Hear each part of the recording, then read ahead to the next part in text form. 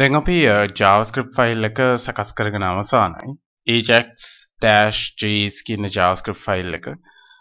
අපි මීට කලින් පාඩම් කීපය තුළ දී සකස් කරගත්ත. ඔබට මතක ඇති අපි එහිදී create XML HTTP request එවගේම process සහ handle server response කියන JavaScript function සකස් කරගත්තා.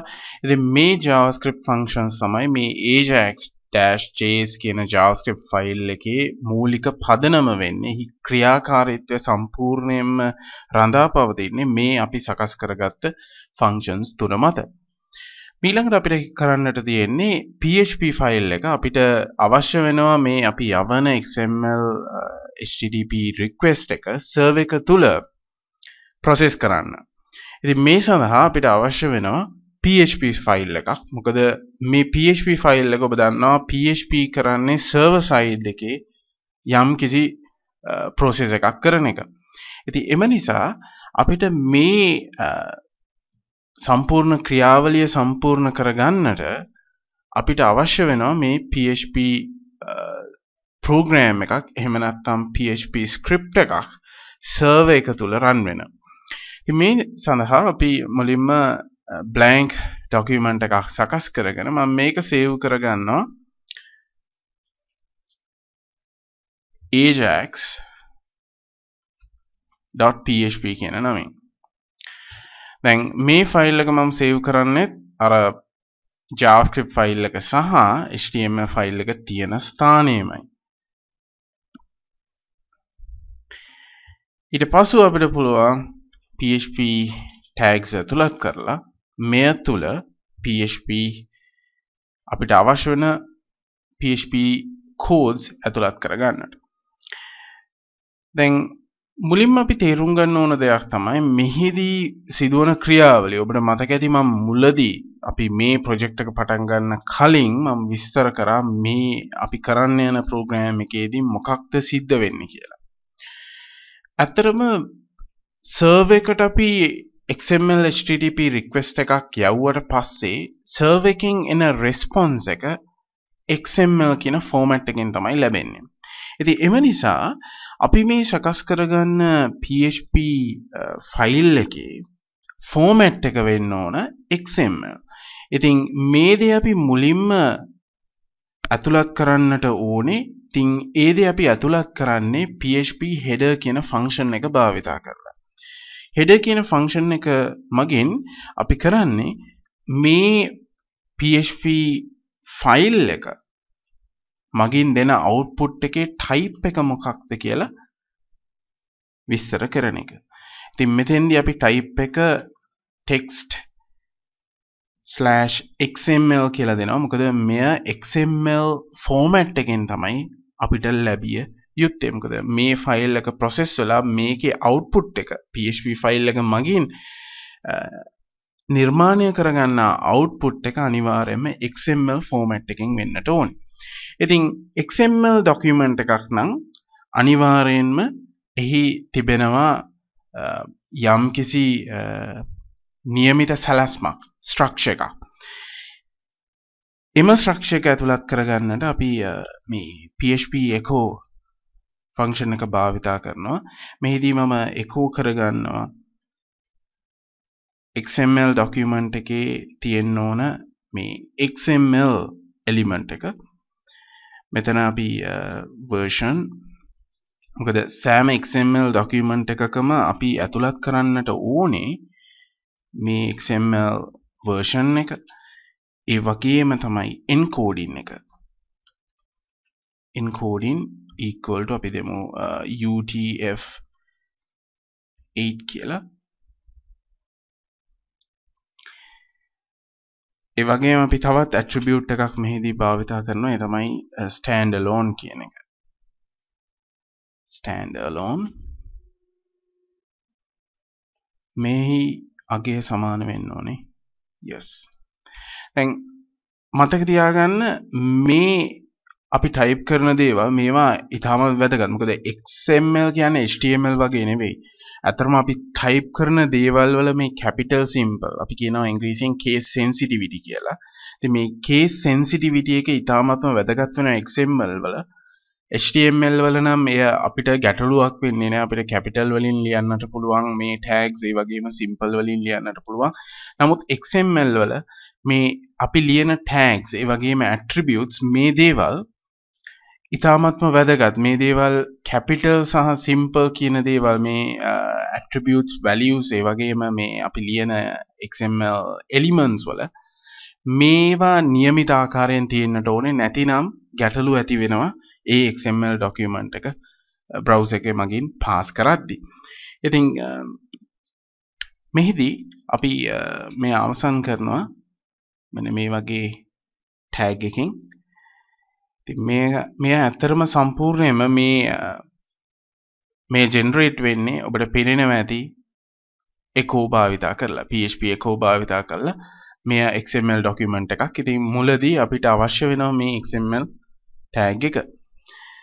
ඉතින් ඊට පසුව අපිට හැකියාව තියෙනවා නැවතත් එකෝ භාවිතා කරලා ටෑග් එකක් හදාගන්නට XML ටෑග් එකක් රෙස්පොන්ස් කියලා. ඔබ දන්නවා HTML වගේ නෙවෙයි XML කියන්නේ අපිට කැමති ටෑග්ස් එලිමන්ස් සකස් කරගන්නට පුළුවන් ඒ තමයි XML වල තියෙන විශේෂත්වය. ඒ නිසාම තමයි XML විවිධ කාර්යයන් සඳහා භාවිතා වෙන්නේ. විශේෂයෙන්ම දත්ත ගබඩා කරගන්නටත් අපි XML භාවිතා කරන්නේ. මේ XML වල තියෙන සුවිශේෂී ගුණය නිසා.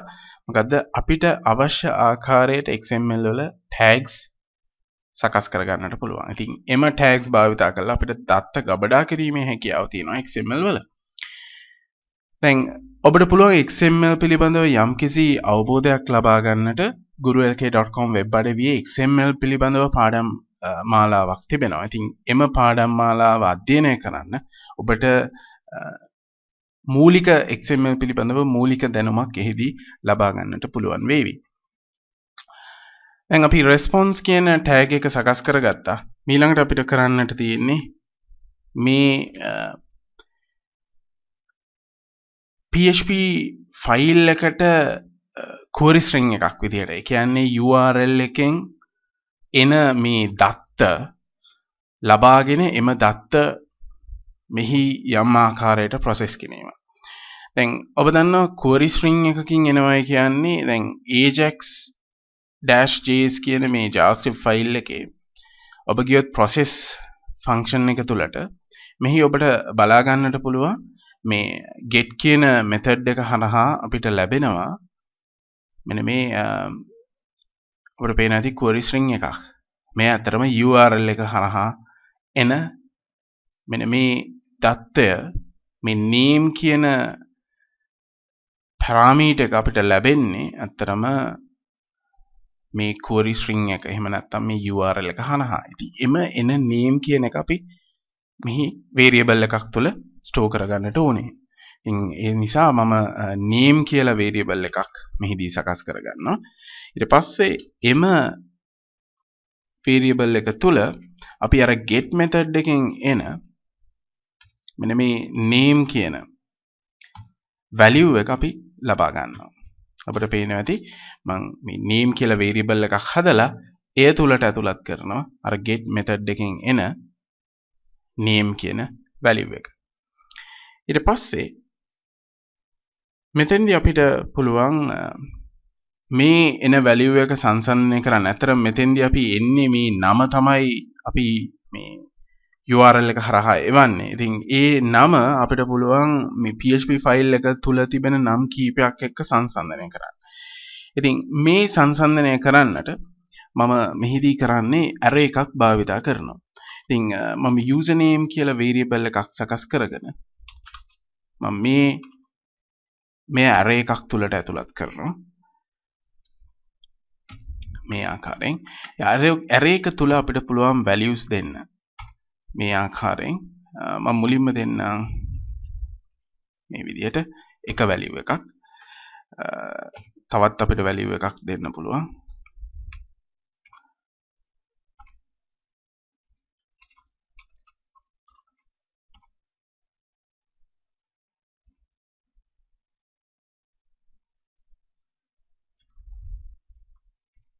ඔබට පෙනෙනවා ඇති මම මේ ඇරේ එකක් සකස් කරගන්නේ. ඇරේ එකක් කියන්නේ මොකක්ද කියලා පොඩි සඳහනක් කරොත් ඇරේ එකක් කියන්නේ එකම නම අපිට භාවිතා කරලා දැන් වීරියබල් එකක අපිට ඒ වීරියබල් එකේ නම භාවිතා කරලා අපිට එක වැලිව් එකක් එක දත්තයක් පමණයි ස්ටෝ කරන්න පුළුවන්. නමුත් ඇරේ එකක අපිට එකම නම භාවිතා කරලා දත්ත රාශියක් එම ඇරේ එක තුල ස්ටෝ කරගන්නත් පුළුවන්. ඒ තමයි එහි තිබෙන විශේෂත්වය. මම මේ විදිහට නම් කීපයක් ඇතුළත් කරගන්නවා. පේනවා ඇති මම නම් හයක් ඇතුළත් කරගත්තා. මේ ආකාරයෙන්. ඊට පස්සේ අපි මේ මේ නම් එක්ක අපි සංසන්ධනය කරන්න ඕනේ අර URL එකකින් එන නම. දැන් URL එකකින් එන නම කියන්නේ ඇත්තටම HTML ඩොකියුමන්ට් එකේ ෆෝම් එක තුල ටයිප් කරන ඒ නම තමයි මේ URL එක විදිහට එන්නේ. ඉතින් අපි ඒක සංසන්දනය කරලා බලන්නට ඕනේ මේ නම් ලිස්ට් එකත් එක්ක මේ array එකේ තියෙන නම් ලිස්ට් එකත් එක්ක. ඒ ඒ සඳහා අපිට පුළුවන් if statement එකක් භාවිතා කරන්න. මෙහිදී if statement එක තුල මම යොදා ගන්නවා මේ in array කියන PHP function එක.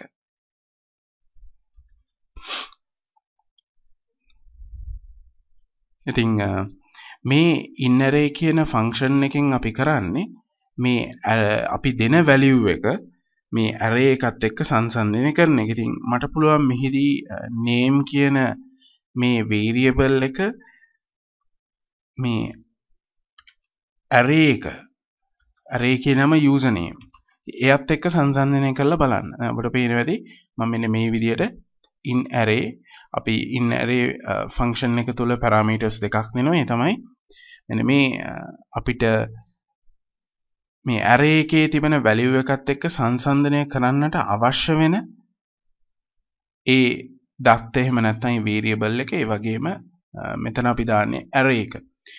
දැන් මෙතෙන්දී අතරම සිද්ධ වෙන්නේ මේක මැච් වෙනවා නම් අපිට අවුට්පුට් එකක් ගන්නට පුළුවන්.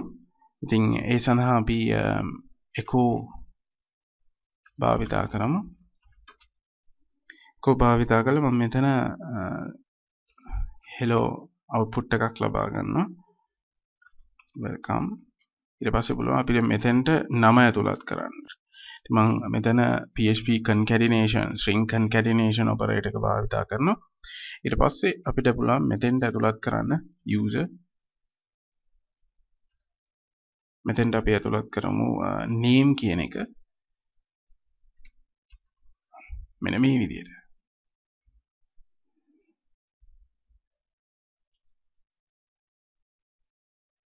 මට පුළුවන් නැවතත් මෙතන කන්කටිනේෂන් එකක් දාලා අවසානයට මේ වගේ එක්ස්කමේෂන් එකක් ඇතුළත් කරන්න.